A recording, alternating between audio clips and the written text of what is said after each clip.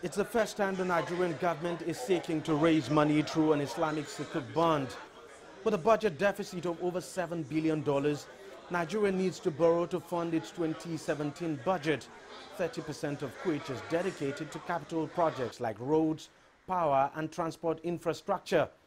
Much of the borrowing is expected to be domestic, and that is where the $328 million Sukuk bond comes in. The bond is going to perform very well because the bond itself is an Islamic bond. And we know that the Islamic bond has to do with ethical investment. That is, the money realized from these bonds is going to be used for investment that are ethical and properly monitored.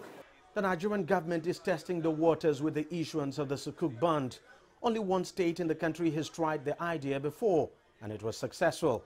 If this sovereign bond also proves successful, more are likely to follow. Even if the amount is not fully subscribed because of the palace economic environment, I want to believe that subsequent, subsequent offers will be subscribed. Going forward, we should see series of such offers based on market situation, the market conditions. But for me, the most attractive thing is that you have, you are coming up with an ethical fund that meets the faith belief, the faith of about 50 million Nigerians.